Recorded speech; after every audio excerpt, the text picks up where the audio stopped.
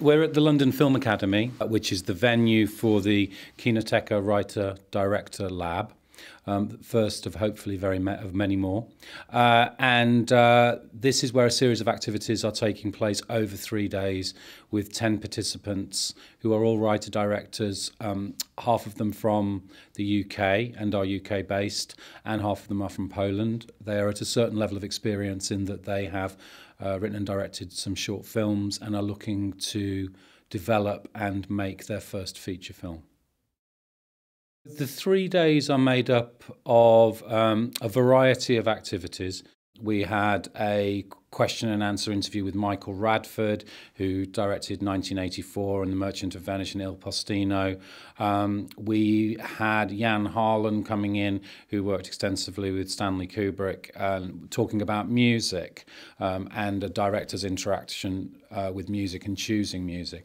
Um, and then we've had active directing actors workshops um, with guests such as Agnieszka Holland, um, where each of the participants has got to direct a page of a script with two actors um, under the supervision of that guest director and myself. Um, and what's happened there is that the individual participant has obviously learned from the doing, um, but there's been a collective um, experience because everyone's in the room and learning from other people's experiences as well.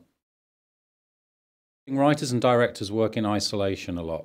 So I think one of the key things here is an opportunity to not just interact with um, the guests and the, um, the, the facilitators of the program, but also to interact with the peer group.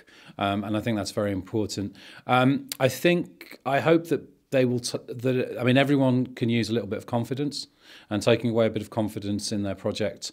Um, and I think the most important things is um, some some specific tools to take away and use in the future.